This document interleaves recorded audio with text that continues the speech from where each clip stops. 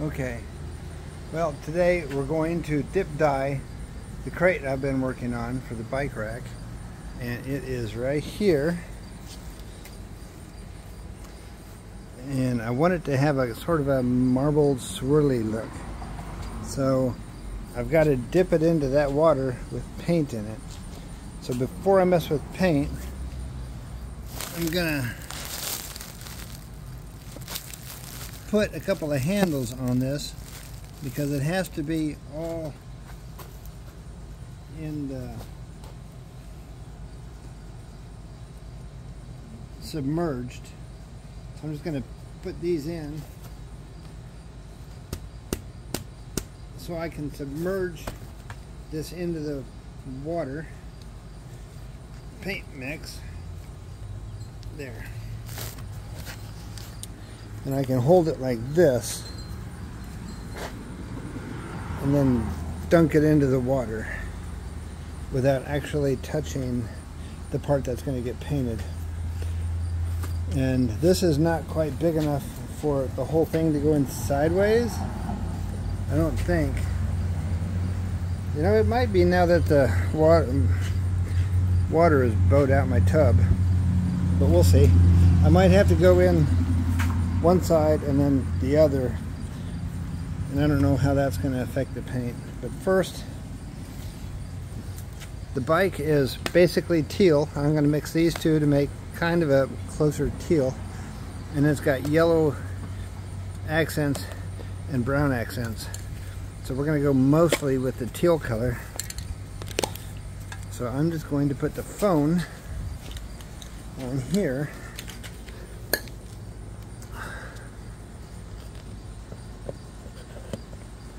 so I can handle all the paint without holding the phone. There. Mm, so.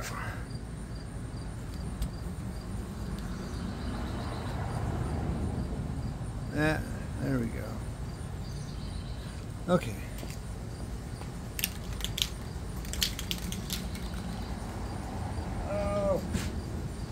Debris in there.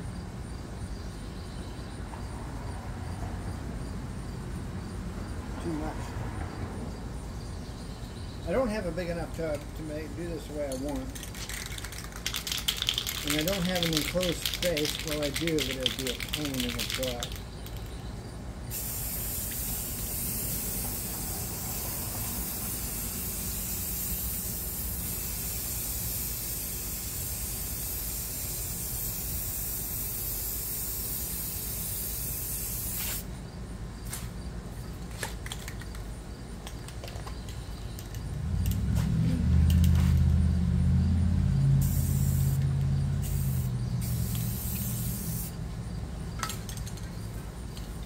There is no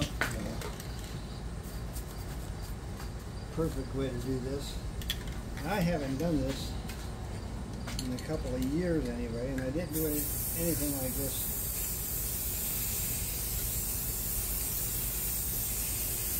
this big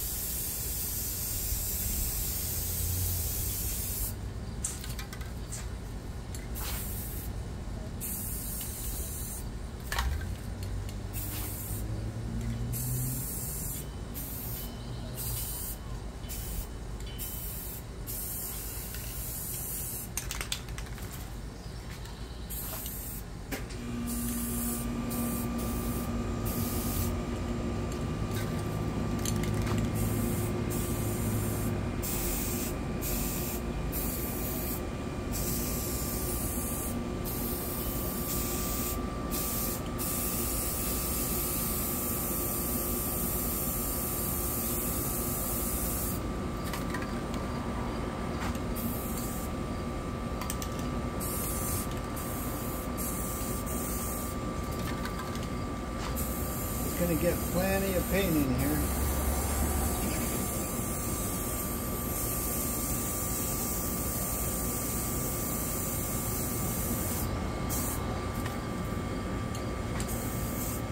I went yellow and brown to be more accent, so I'm not going to use as much of it as I am the other.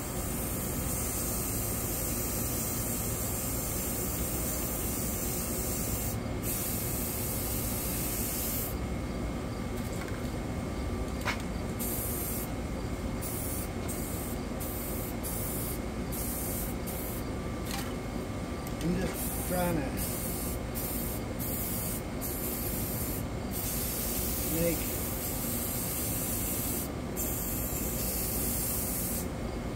different sort of patterns, you know.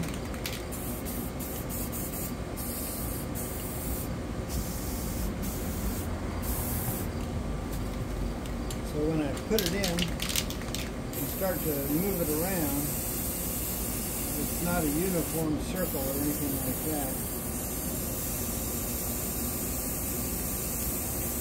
And I'm a little afraid that when I take it out and have to dip the other side in, too much of the paint's going to be just uh,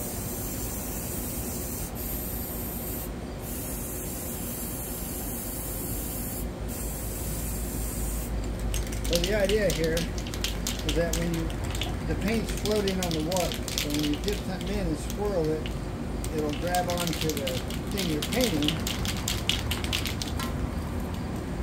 Uh-oh. Oh, just like that.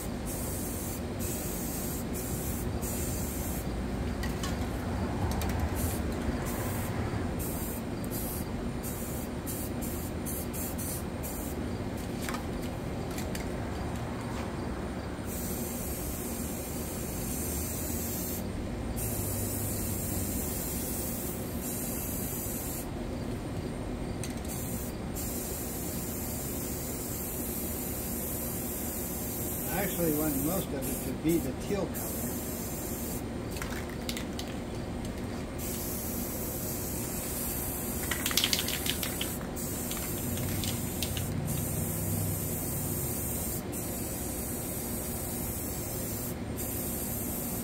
But even a teal, I have a, a more teal and a little more green.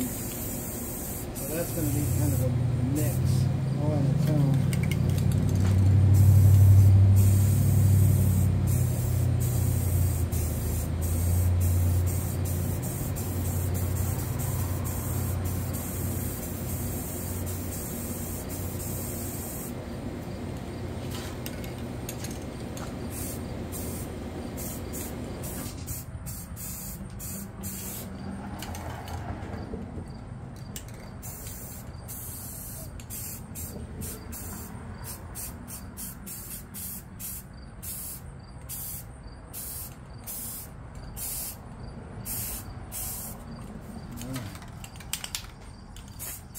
I think we're about ready.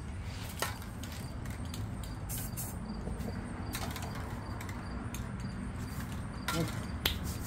Well, make sure I'm still looking right. just so you can see. Ooh, I hope I don't drop my phone in there. Okay. There we go. Oh, I'm nervous. Right. It's actually a very quick process. I hope it works.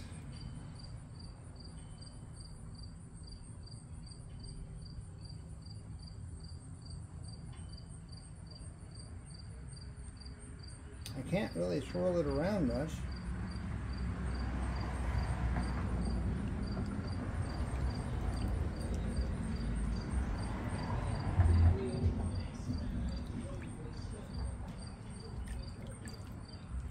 Uh-oh.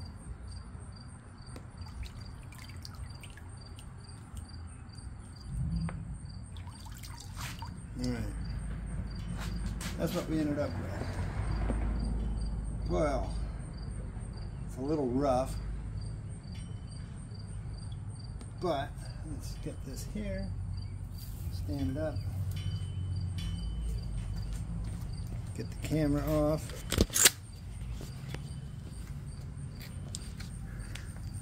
It's gonna need a little touch up. It's got a few thick spots that need clipped or trimmed or trimmed off. But that is more yellow and brown than I was thinking of. But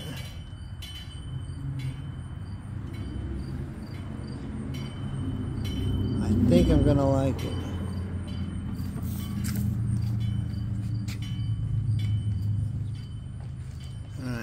Get this off this straw here.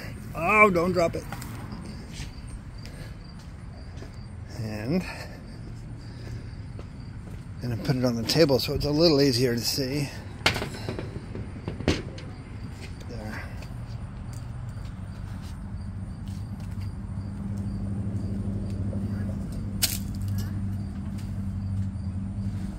Like I say, it needs just a little touch-ups where some of the paint got a little thicker. But that's not going to be anything hard.